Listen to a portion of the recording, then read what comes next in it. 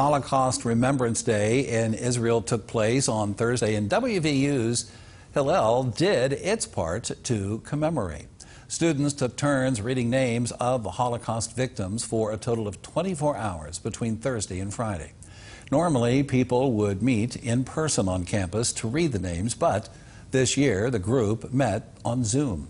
Each person took an hour long shift to read a name, where they lived, and how and when the Nazis killed them.